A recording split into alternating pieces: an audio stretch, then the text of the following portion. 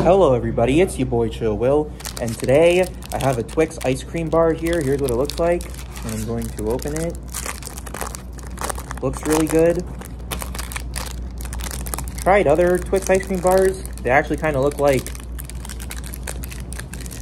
Snickers in a way, because like the biscuit's actually at the top. It's not just a slit like a biscuit. It's like what they got at the regular Twix bars. And without further ado, let's try this. Hmm. The nougat is there, even more so than the one that you can find at like the grocery store. One that comes in the packs.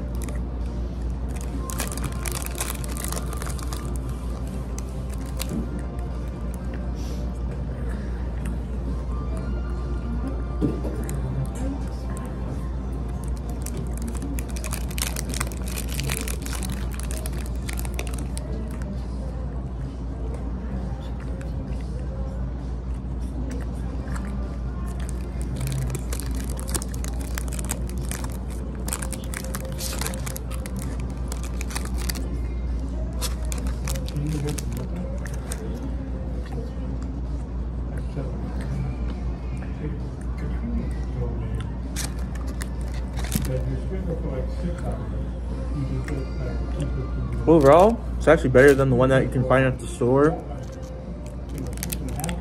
I'd have to give it a 9.5 out of 10, maybe a 9.6 or a 9.7. I'll stick with a 9.6. That'll be my review, and eat hearty, my homies.